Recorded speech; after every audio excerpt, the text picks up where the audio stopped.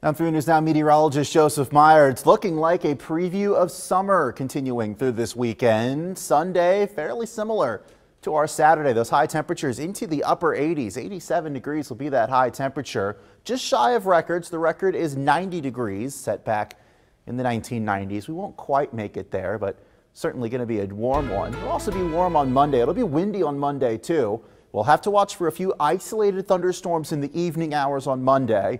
A few of those storms could be on the stronger side. Much more widespread chance for storms comes in on Tuesday. A few of those could be strong to severe, especially over southwest Iowa down into Missouri. Also a windy day on Tuesday.